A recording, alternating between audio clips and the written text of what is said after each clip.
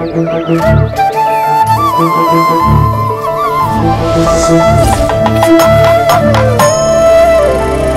மேன்மக்கள் மேன்மக்களே என்பார்கள். லிங்குசாமியும் அப்படிப்பட்ட ஒருவர் தான் என்றால் ஆமாங்க ஆமா என்பார் கௌதமேன். லிங்குசாமியின் இப்போதைய நிலவரம் இத்து போன ஏடிஎம்கள் மாதிரி. வெறும் மெஷின் தாங்க இருக்கு.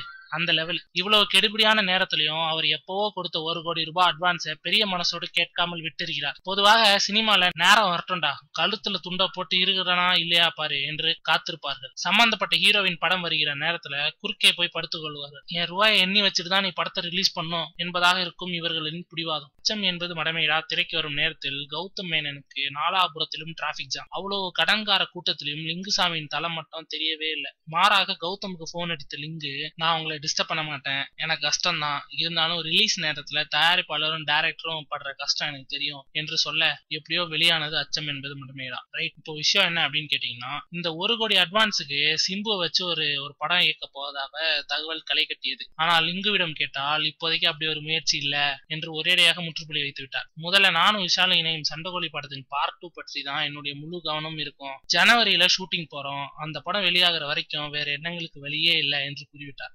அதிர்ஷ்டம் விஷாலுக்கா சிம்புக்கா என்பதை சண்டை கோழி பார்ட் டூ தான் ரிசல்ட் தெரிவிக்கணும்.